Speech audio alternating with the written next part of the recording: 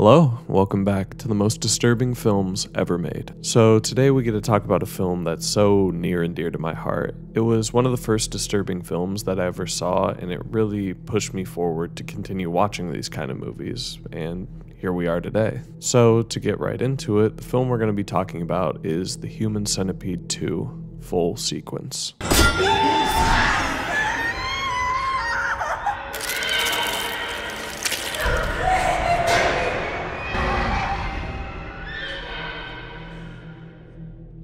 So, I guess a little disclaimer on why I'm starting with the second film and not the first. This film is actually part of a trilogy, and the second one, in my mind, is by far the worst graphic wise, gore wise, in literally every single way. And it's honestly the most interesting because how the trilogy has kind of worked is when the first Human Centipede came out, there was huge buzz around it. Oh, it's going to be the most messed up movie ever made. Well, spoiler alert, it really wasn't. It was kind of a generic thriller that just had an interesting twist with the idea of a human centipede. Sure, there was like some graphic scenes in it, most definitely, but it wasn't the worst thing possible. Now, in the second film, the director took all that criticism and turned it up to 11. I mean, this movie, comparatively to some other films I've covered, is even worse in my opinion. Like, this is a graphic film anything you can possibly imagine that's just awful in the universe, this film has it.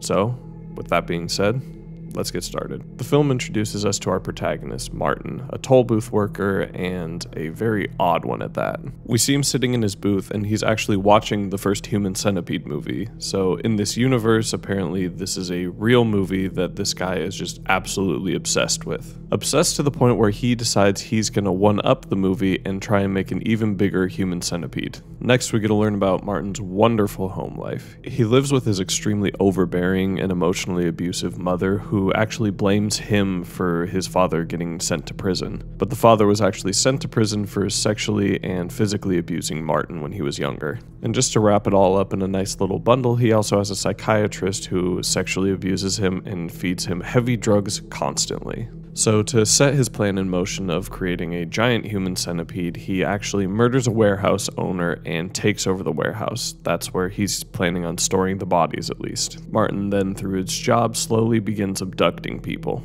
His first two victims are a man, an extremely aggressive one at that, and his girlfriend that he kidnaps through the toll booth. Next, this guy, Alan, who's at an ATM complaining that there's no cash in it. Another man and a woman who we find out is pregnant, and they also have a toddler that he decides to just leave locked in their vehicle. This next one is just the absolute worst, in my opinion. He kidnaps these two girls that actually catch him masturbating with sandpaper to a scene of human centipede.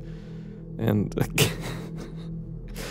it's just so outlandish that I almost can't take it seriously if it wasn't so absolutely disgusting. In between these kidnappings, Martin actually goes home and finds that his mother has found his human centipede scrapbook and destroyed it. Martin, so upset with this, grabs his pet centipede, has it bite his mother on her face, and then he takes a crowbar and just crushes her skull in. It's a super graphic scene, but it's only getting worse from here. Martin then catches his psychiatrist and another man having sex with this prostitute. He murders his psychiatrist, which I really don't feel all that bad about, but then he kidnaps the other two and takes them to the warehouse.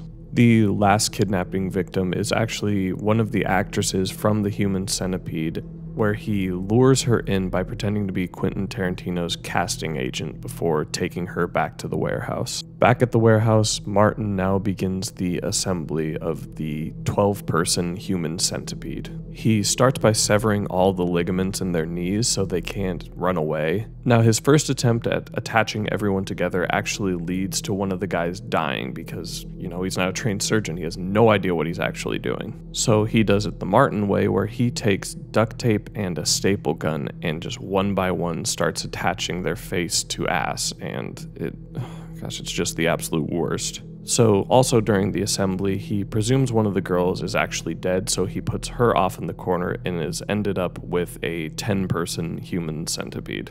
After putting them all together, the actress from the original Human Centipede movie is just screaming her heart out.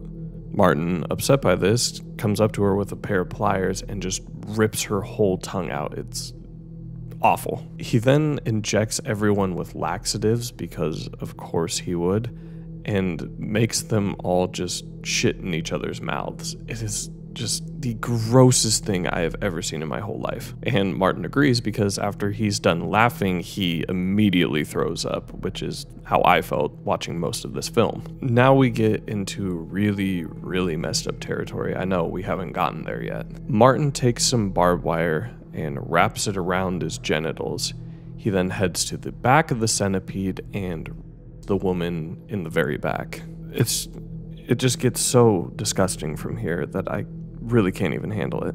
The woman who was presumed dead, who is actually the pregnant woman, actually makes it out and into a car. And as she's making her escape, we find out that she is in labor. The baby comes out and falls at her feet, and as she's trying to escape, she just crushes this baby's head. And that scene in particular is the one that I remember vividly.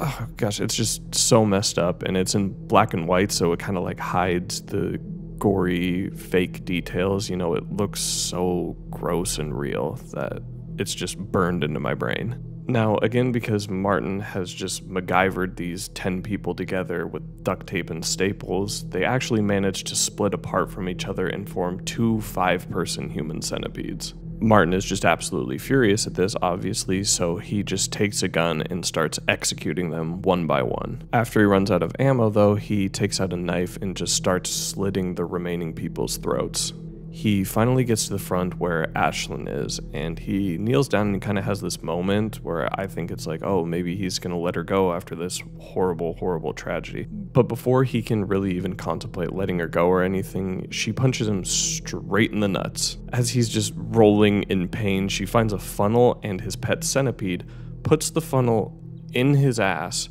and puts the centipede down. And I just, at this point, I can't even handle this movie.